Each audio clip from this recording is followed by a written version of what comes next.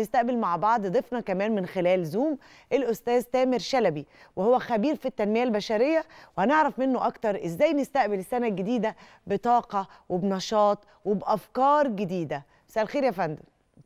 أهلا. مساء الخير. إزيك يا من أخبارك إيه؟ أخبارك إيه؟ كل سنة وأنت كل طيب. سنة وأنت طيبة وكل السادة المشاهدين بالف خير ويا رب سنه سعيدة علينا كلنا. أمين يا رب. اللهم أمين. يا رب.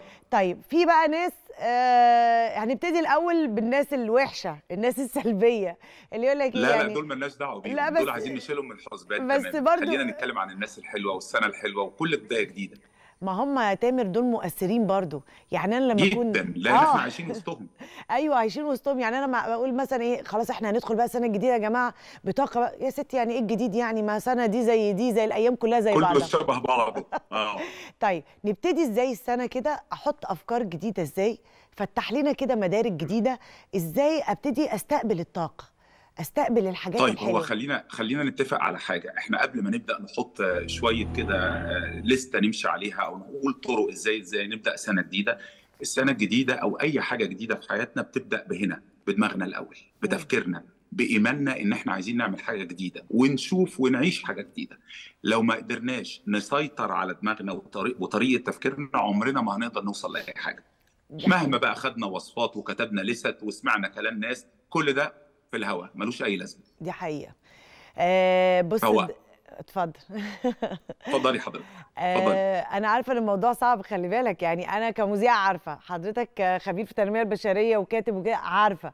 لكن في ناس يقول لك يعني إيه أقنع نفسي إزاي إن الحياة حلوة وأنا مش حاسسها حلوة؟ فأنا دايما بقول معاك وبضم صوتي لصوتك اللي هو أنا دلوقتي عايزين نعمل إيه؟ اختبار كده عملي. يعني قول لي دلوقتي أنا آه. كإيمان قاعدة معاك وبقول لك بص يا تامر قول لي أبتدي أقول لنفسي إيه؟ آه، أبتدي أتكلم مع نفسي إزاي من بداية الحياة من بداية السنة.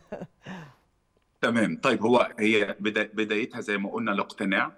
وتاني حاجة أنت يمكن آه، ذكرتيها إن مهم جدا الناس المحيطة بيا بتأثر فيا جدا بتأثر في حياتي وفي تفكيري وفي نظرتي للحياة.